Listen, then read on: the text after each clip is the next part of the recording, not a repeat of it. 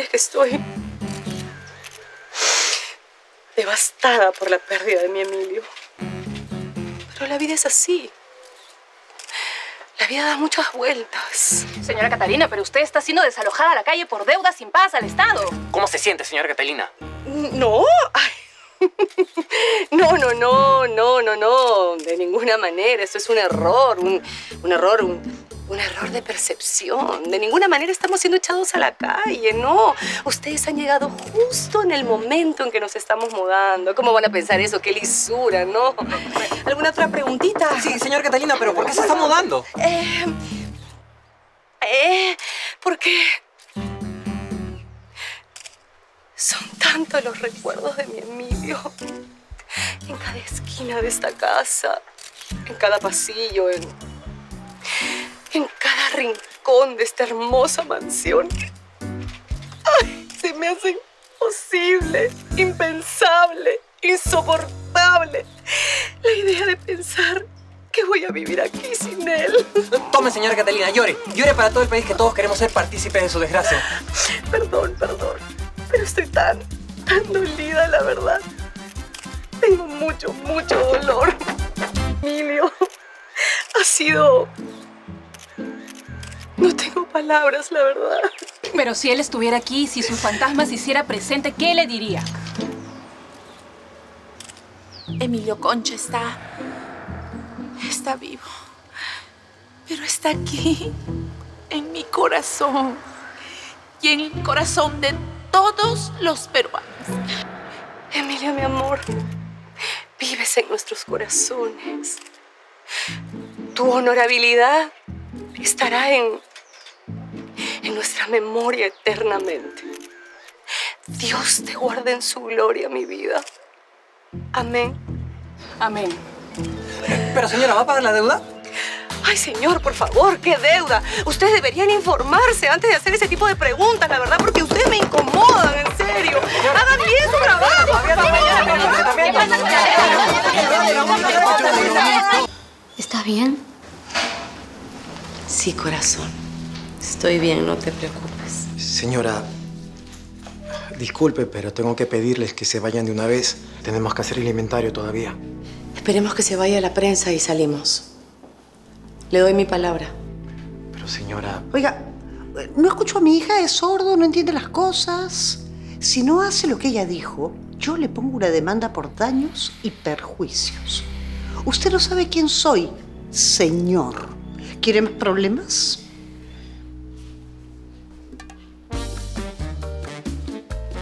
Está bien. Vamos a esperar que la prensa se vaya primero. Gracias. Permiso. Nadie tiene que enterarse de todo esto, ¿ya? De lo que está pasando. Tarde o temprano todos, todos se van a enterar que nos han quitado la casa. No, porque cero redes y no hay discusión. Cero redes. Ay, pero abuela. No, nada de ¿dónde abuela. vamos a vivir? Tengo sitio en mi casa. ¿Podrían ir conmigo? ¿Tu casa? Lucy, querida. No tienes que hacerlo. De verdad no queremos incomodarte. Usted y los chicos no me incomodan. Luego de buena gana, señor. Sí, vamos donde Lucy. Nunca hemos ido a su casa. Ni se te ocurra. No te preocupes. ¿eh? Ya lo estamos resolviendo. Pero lo vamos a tener en consideración y cualquier cosita te avisamos. Hay espacio, es cómodo y tiene una buena vista. Gracias. Parece que el tiempo no hubiera pasado por esta casa.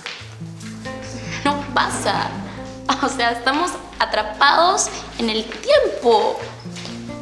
Esto parece del siglo XX. Es muy antiguo.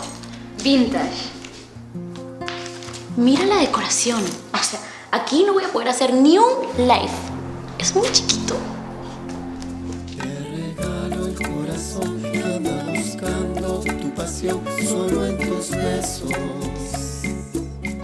Tantos recuerdos. Nunca pensé que volvería a esta casa.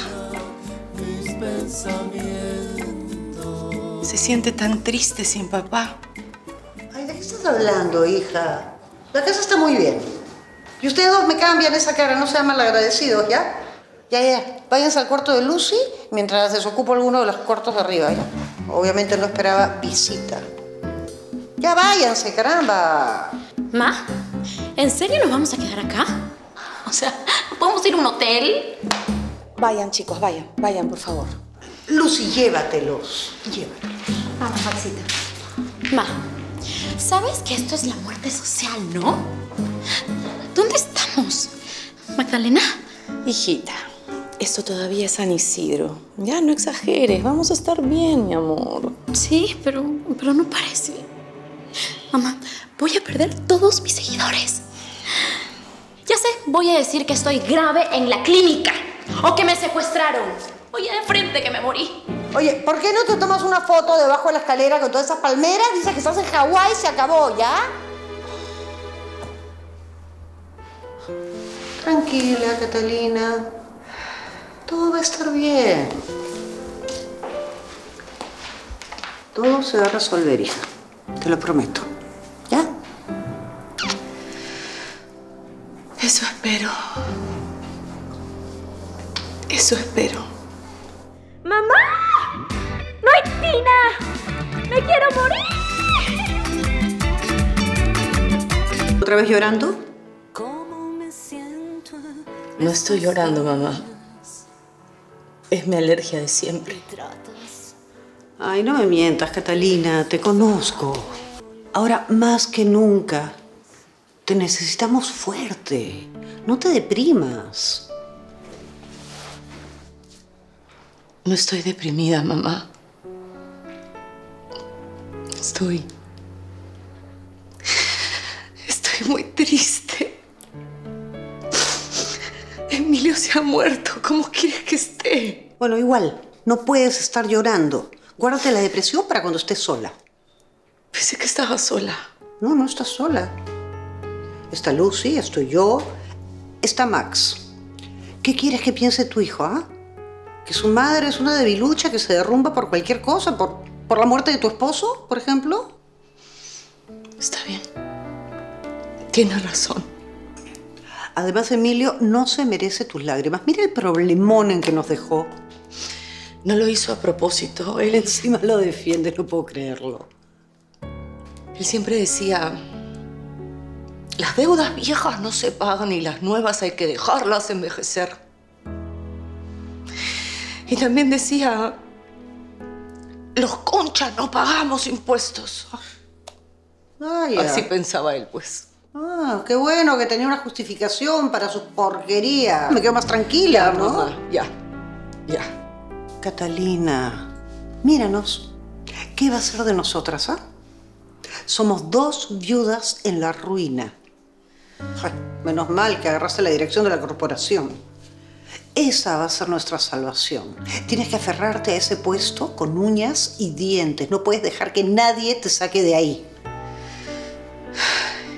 Ya, está bien, hija. Estás cansada, ¿no? ¿Por qué no subes a recostarte? Sí, eso voy a hacer.